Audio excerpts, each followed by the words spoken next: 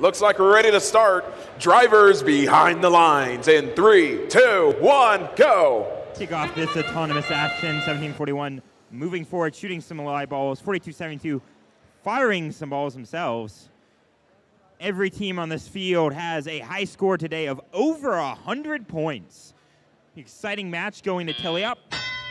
Red Alliance advantage uh, 22 0.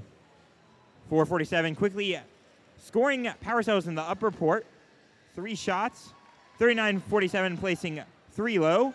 Jasper, the Thundercats, looking to follow up with three power cells of their own.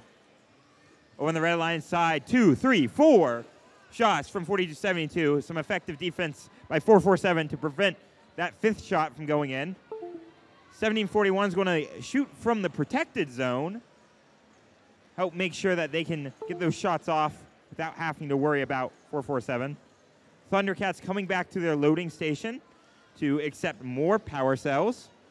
We have a volley of balls from 4272. Three cells up in the outer port, 58 to 15, with 84 seconds left in favor of your Red Alliance.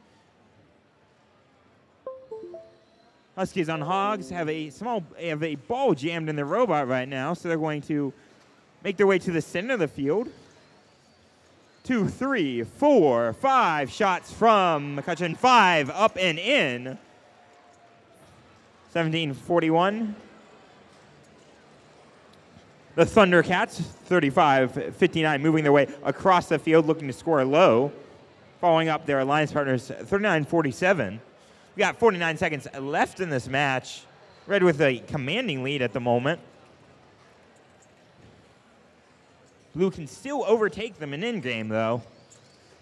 One, two, three, four, five, four out of three out of four power cells up high, 42-72. 30 seconds left. Blue's going to look to climb. They're going to aim for three climbs to take over the red score of 74 points with five robots looking to climb in this match. 15 seconds left. Forces 7 is up. Jasper is, or Thundercats are up. And we have a third robot up, 39 uh, 47. Red's looking to command this. We have two red robots up. Can Blue hang on? 447 pulling out at the last second to make sure they can have a double climb.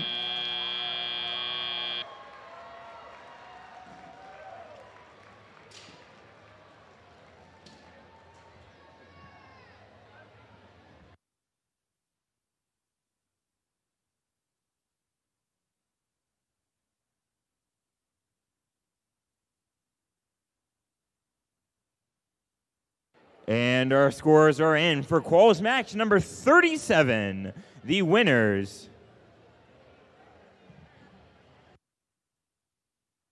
Winners of the match is going to be the Red Alliance. Red Alliance winning 139 to 8. 42 72 and 74 54, holding positions of fourth and fifth, respectively.